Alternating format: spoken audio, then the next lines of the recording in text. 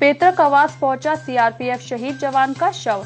परिजन शहीद का दर्जा देने की कर रहे हैं मांग। मौके पर उच्च अधिकारियों के न पहुँचने से नाराज़ हैं परिजन व ग्रामीण। परिजनों ने अंतिम संस्कार करने से किया इनकार। मौके पर मौजूद सीआरपीएफ के जवान समझाने का कर रहे हैं प्रयास। दो दिन पहले आसाम में गोली लगने से राम अचल हुए थे शहीद। अकबरपुर कोतवाली क्षेत्र के ग्राम मखदूमपुर के निवासी हैं शहीद जवान। अगर वो बंदूक में गोली भर के लिए लड़का जो है सुरक्षा कर रहा था अगर वो गोली खुद चल गई तो कैसे चल गई और अगर चल भी गई तो शहीद अगर हो गया तो क्या माना चाहिए शहीद माना जाएगा ये काम बच्चा कर लिया।